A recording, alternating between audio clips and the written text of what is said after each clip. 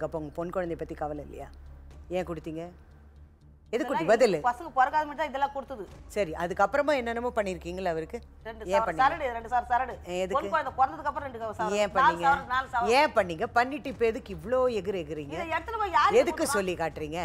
சொல்லி காட்டுங்க மேடம். இப்போ நான் ரெண்டு பொண்ணு குழந்தை வச்சுனாங்களே எனக்கு எனக்கு என்னால இப்போ முடியல இன்னொரு. விஷயம். நான் அவருக்கு சப்போர்ட்டே பண்ணல. மேடம். அவர் பண்ணது இருங்க எனக்கு தேவை கிடையாதுமா உண்மையை பேசணும். நீங்க வந்ததுலேருந்து அடிக்கிறீங்க கத்துறீங்க எல்லாம் நான் இங்கே இத்தனை பேர் இருக்கப்போ வீட்டில் என்ன பண்ணுவீங்க? வீட்ல என்ன மேடம் வீட்ல பண்ணுவேன் நான்? ஒண்ணுமே ப- பப்ளிக்ல வேற அடிச்சிருக்கீங்க இன்னைக்கு மத்தியானமா காலையில. காலையில. அடிச்சிருக்கீங்க.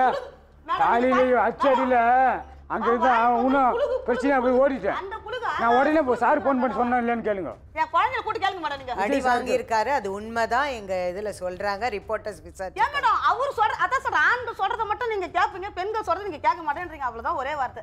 அப்படி நீங்க சொல்றீங்க. இதோ வருது பசங்க வாமா பசங்க ரெண்டு பசங்க இல்ல. இல்ல ஒரு நிமிஷம். வெண்ணிலா மேம் சைக்காலஜிஸ்ட் அவங்க. இந்த விஷயத்தை பத்தி நீங்க என்ன நினைக்கிறீங்க சொல்லுங்க. இப்போ அவங்க சொல்லுவாங்க நீங்க கேளுங்க. அவங்க யாருக்கு சப்போர்ட் பண்றாங்க நீங்களே குழந்தைகளை வச்சு நான் இன்னும் ஒரு நிமிஷம் இருங்கம்மா.